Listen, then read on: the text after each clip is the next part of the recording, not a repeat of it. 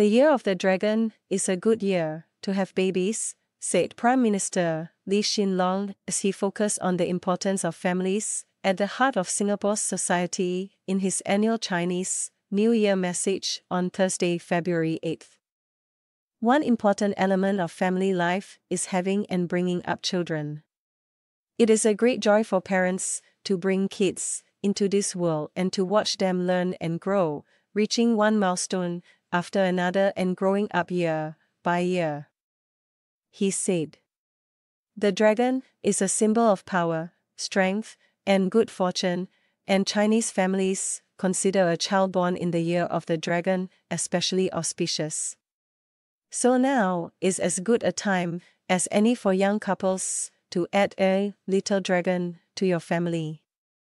PM Lee, who was also born in the year of the dragon, added Efforts made to support parenthood in, in Singapore.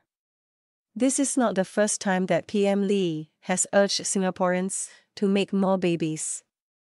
He had acknowledged before that the decision to have a baby is a very personal one, but given the declining birth rates in Singapore, he has continued to encourage couples to do so in what could be his final few months as Prime Minister. I still hope that more Singaporean couples will decide to have more children, and to have them earlier, he said, adding that couple may not realize how quickly it gets harder with each passing year. Indranee Rajah, Minister in the Prime Minister's Office PMO, shared in Parliament in February 2023 that the resident total fertility rate TFR in Singapore dropped to its lowest ever level of 1.05 in 2022. This was partly because it was the year of the tiger, which generally has fewer births.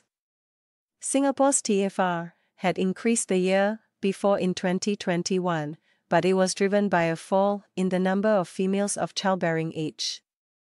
With the lower fertility rates and longer life expectancies, the proportion of those aged 65 and above in Singapore is set to rise further over the next few years.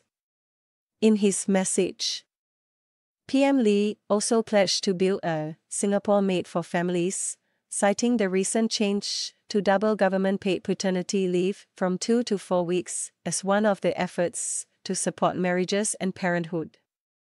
I am confident they will find parenthood a deeply rewarding and fulfilling journey, he added. PM ended by wishing all Singaporeans good health and a happy Chinese New Year, saying, Entering the Dragon Year, let us press forward with optimism and determination.